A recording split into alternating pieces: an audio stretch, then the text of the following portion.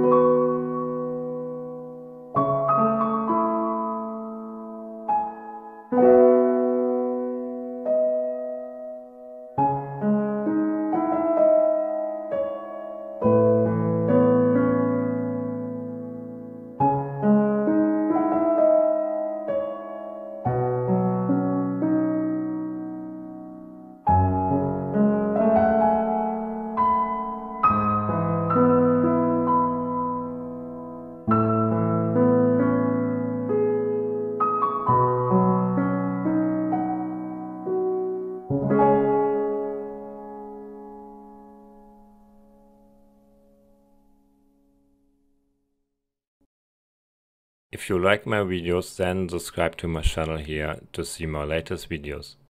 If you want to see directly another video? Then click here.